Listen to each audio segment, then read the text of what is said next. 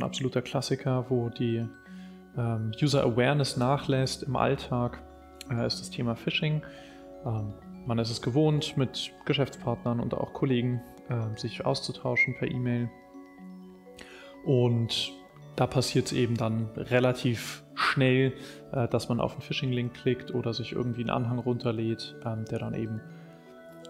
manipuliert ist durch den Angreifer und durch den dann irgendwelche Schäden entstehen. Also dass man sich zum Beispiel auf einer Plattform einloggt, die genauso aussieht wie die, die man kennt,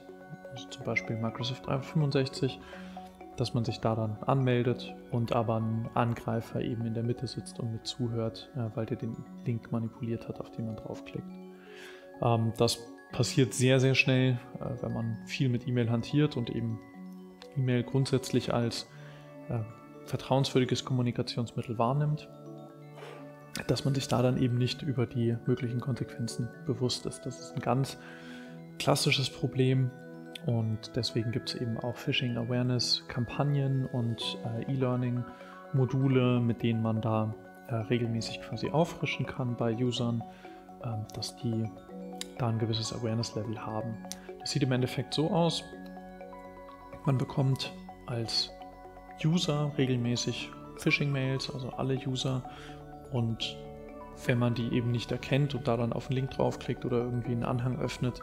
ähm, wird das in der Statistik getrackt und man bekommt eben direktes Feedback, hey,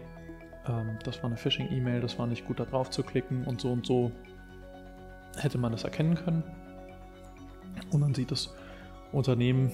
die IT sieht dann regelmäßig Reports und kann dann den, die Verbesserung der Maßnahmen ähm, mitverfolgen über diese Reports und ähm, dann kann man eben das Ganze noch begleiten mit E-Learning-Modulen, wo die Mitarbeiter dann eben Schulungen machen. Und da dann nochmal ganz gezielt darauf hingewiesen wird, was für Gefahren es gibt, was für unterschiedliche Arten von Phishing es gibt. Es gibt ja nicht nur Anhänger oder irgendwelche Links,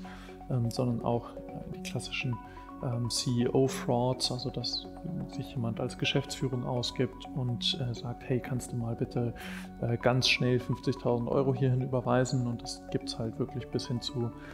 ähm, 10 Millionen äh, oder, oder sogar 25 Millionen äh, Dollar umgerechnet, ähm, was ich da an, an Schadensfällen von gehört habe, äh, die durch sowas entstehen oder eben manipulierte Rechnungen ähm, die dann geschickt werden, ja, wo die IBAN ausgetauscht wurde und der Rest legitim ist. Also lauter solche Nuancen unterschiedlicher Arten von Phishing, die eben alle irgendwie den Zweck haben, am Ende äh, das Ganze zu kapitalisieren.